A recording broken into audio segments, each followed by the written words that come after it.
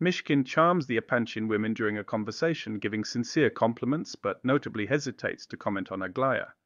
He compares her beauty to that of Nastasya Filippovna, sparking curiosity and tension. Myshkin accidentally reveals that Gavrila, Ganya, has a portrait of Nastasya which causes a stir. Lizaveta demands to see it, leading to deeper discussions about beauty and power. Ganya secretly asks Myshkin to deliver a note to Aglaya. Myshkin hesitantly agrees, even though the situation makes him uncomfortable, sensing the complex emotions at play. After receiving the note, Aglaya shows it to Myshkin and directs him to return it to Ganya without comment. She mocks Ganya's intentions, understanding his desire to manipulate her into a romantic arrangement. Ganya becomes furious after learning that Aglaya rejected his note.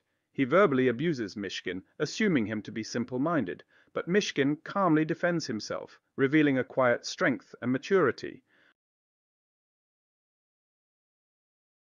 Myshkin's honest yet hesitant compliments reflect his innocence and lack of social tact, which charms some while creating tension with others. His comparison of Aglaya to Nastasya highlights his inner conflict, caught between admiration for purity, Aglaya, and fascination with suffering, Nastasya, foreshadowing future turmoil. The portrait of Nastasya becomes a focal point, symbolizing not just physical beauty but the power it holds over others, the women's reactions, particularly Lizaveta's disdain and Adelaida's awe, reflect how beauty can both inspire and unsettle. Myshkin's fixation on Nastasya's suffering and complexity hints at his deeper understanding of the human condition. Ganya's request to Myshkin reveals his desperation to win Aglaya's favor.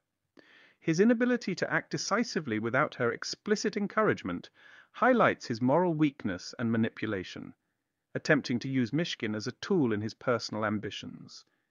Myshkin's reluctance to get involved signals his discomfort with deception and dishonesty. Aglaya's sharp, mocking response to Ganya's note shows her acute awareness of his manipulative intentions. She refuses to be used as a bargaining chip in Ganya's quest for both wealth and romantic fulfillment, revealing her strong, independent character and disdain for dishonesty.